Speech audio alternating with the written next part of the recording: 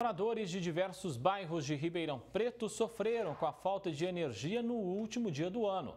A chuva da madrugada de quinta-feira deixou muitos prejuízos.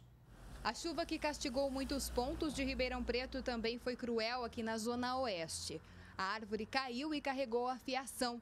O poste se rompeu. O vento foi bem forte, foi muito forte, então aconteceu essas coisas. Daí em diante, sem energia elétrica, foram vários prejuízos que afetaram ao menos um quarteirão. Depende da energia para tudo hoje, até para geladeira, tem um monte de coisa perdendo lá.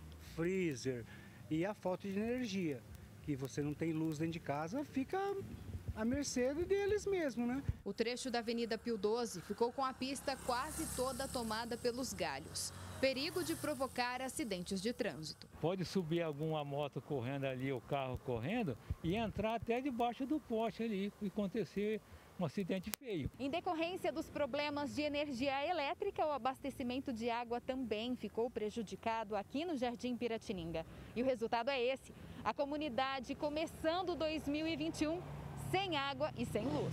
O DAERP disse que 11 poços que estavam parados e voltou 9, mas o nosso poço aqui do Jardim Piratininga não voltou, porque a gente está sem água. E foram várias notificações feitas à CPFL e Corpo de Bombeiros, mas sem nenhuma garantia de que os serviços seriam restabelecidos. Já vieram aqui cedo, deram uma olhada, tiraram foto, mas até agora não fizeram nada para nós aqui, né?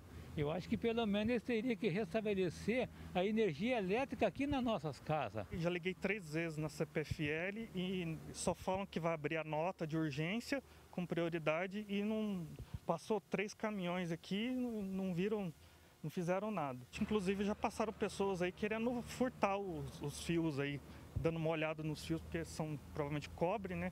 E atrai atenção. Situação semelhante também na zona sul de Ribeirão, com a queda de árvore provocando interrupção no fornecimento de energia. O registro em vídeo dos moradores mostra o estrago, sem a expectativa de que o serviço seja restabelecido. Thaís Mantoani para o Jornal da Clube. A CPFL Paulista informou que enviou equipes aos locais para realizar os reparos necessários e reforçou a importância de registrar as ocorrências através do WhatsApp que aparece aí na sua tela, 193795 1705. Eu vou repetir, 193795 1705. Esclareceu ainda que o fornecimento de energia foi restabelecido por volta das 9 da noite de ontem.